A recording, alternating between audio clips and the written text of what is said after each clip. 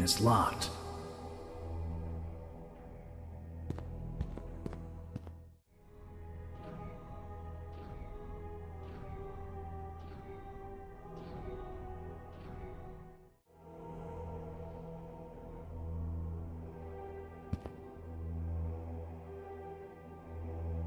I need bigger pockets for all this loot.